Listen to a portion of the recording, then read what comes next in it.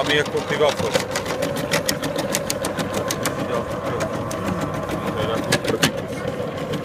Proti sobě, no. To je tam Já vlastně tam matná.